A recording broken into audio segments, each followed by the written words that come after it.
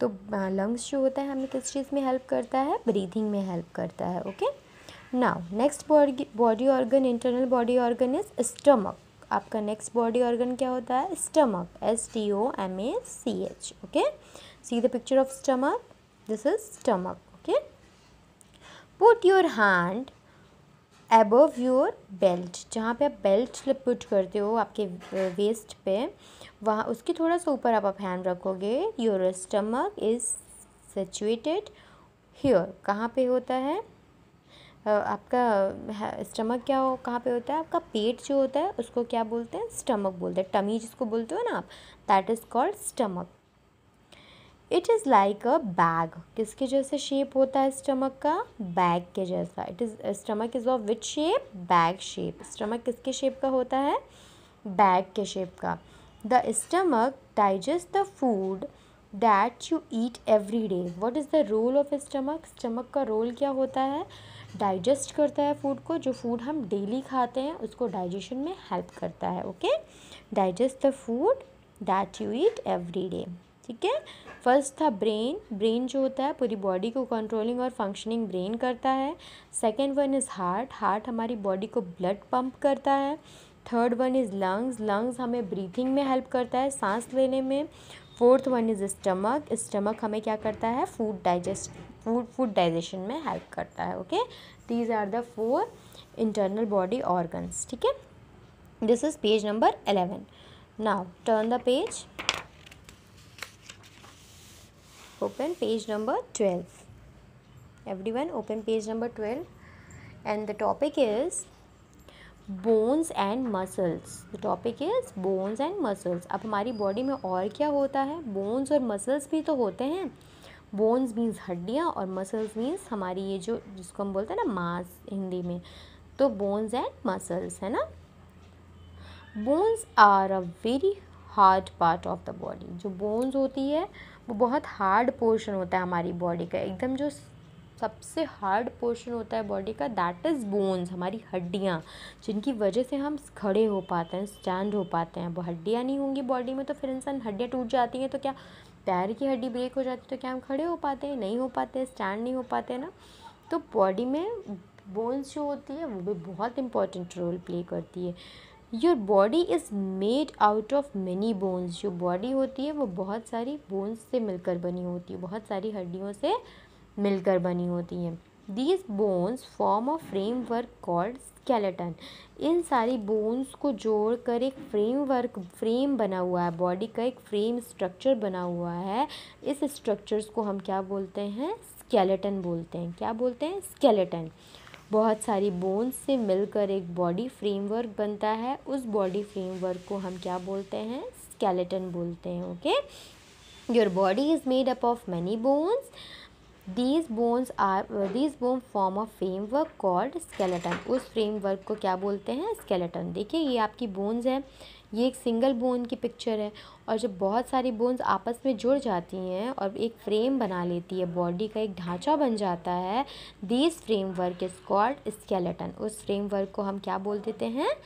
Skeleton बोल देते हैं। Understood speak speak with me skeleton मेरे साथ बोलिए स्केलेटन ओके नेक्स्ट फैक्ट क्या है? A joint is a place where two bones meet joints किसको बोलते हैं? जहाँ पे हमारी दो बोन्स मिलती हैं। See this is our leg ना? ये हमारा लेग होता है ना? ये हमारा घुटना होता है। यहाँ पे ये हमारा जॉइंट है। ये हमारा जॉइंट है। क्यों यहाँ पे दो बोन्स को मिलके हमारा लेग बना हुआ है? एक अपर पोर्शन थाई वाला और एक नीचे पोर्शन फीट वाला। तो ये जो हमारी बीच की हड्डी है ना, जिस जहाँ से हमारा पैर मुड़ सकता है, अगर हमारा पैर एकदम सिंगल बोन से बना होता तो क्या हमारा पैर मुड़ पाता? हम बैठ पाते इजीली नहीं बैठ पाते। इसीलिए हमारा पैर कैसे बना है? टू बोन्स से मिलकर बना है हमारा लेग एक बोन्स थाई के ऊपर और एक बोन्स नीचे फीट की तरफ़। और यहाँ जो हमारा घुटने का पोर्शन होता है, वहाँ पे से जॉइंट है। और this is called two bones जहाँ पर मिलती हैं, उसको हम क्या बोलते हैं? जॉइंट बोलते हैं। क्या बोलते हैं? जॉइंट बोलते हैं। Okay.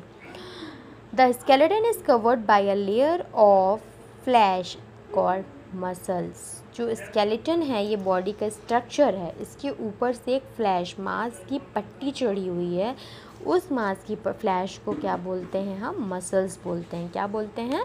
मसल्स बोलते हैं। Bones and muscles help us to stand bones और मसल्स की वजह से, जैसे मैंने आपको पहले बताया, हम क्या कर पाते हैं? खड़े हो पाते हैं स्टैंड हो पाते हैं सिट हो पाते हैं, बैठ पाते हैं मूव हो पाते हैं, हिल पाते हैं एंड टू डू वर्क और काम कर पाते हैं। You can not see the muscles और bones because they are under the skin हम मसल्स और बोन्स को नहीं देख सकते। क्यों? क्योंकि वो हमारे स्किन के अंदर होती हैं, बाहर नहीं होती हमारी बोन्स और मसल्स है ना? स्किन के अंदर होती हैं। तो बोन्स और मसल्स हमें किस चीज़ में हेल्प करती हैं? स्टैंड सिट मूव और काम करने में हेल्प करती हैं okay this is this is it for today's class now I am going to tell you what's your assignment for today okay assignment is very easy but I am going to explain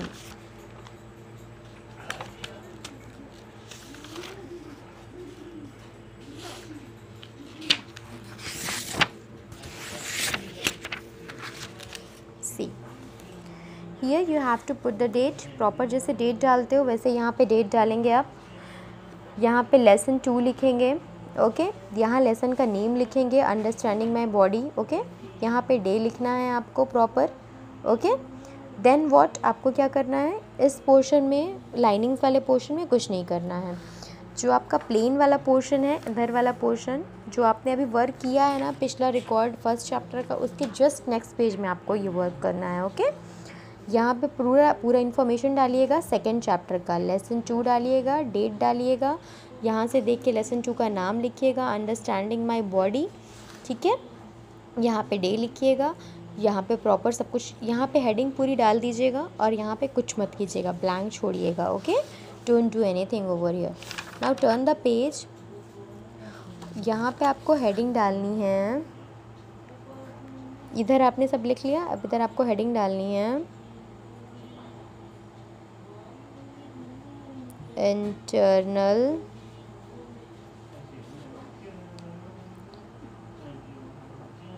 body organs. क्या heading डालनी है? Internal body organs क्या heading डालनी है? What's the heading internal body organs okay there are five four internal body organs पढ़ाए ना मैंने. One two three four divide your page in the four part, okay? I'm not using the scale. You can use the scale also. अपने page को आप four portion में divide करिएगा।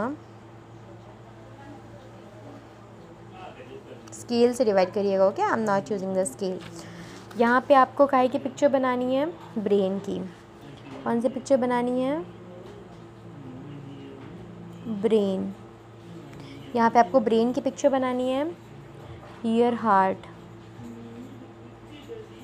Heart की picture बनानी है।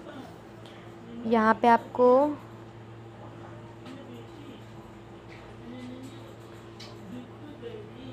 लंग्स बनाना है। और यहाँ पे आपको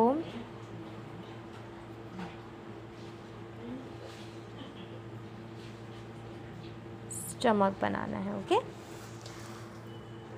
यहाँ पे आप डेट डालेंगे here date okay lesson two यहाँ लेसन का नेम अंडरस्टैंडिंग माई बॉडी और इसको पूरा ब्लैंक छोड़िएगा। इधर सेम साइड पे, इस साइड पे इंटरनल बॉडी ऑर्गन लिखिएगा।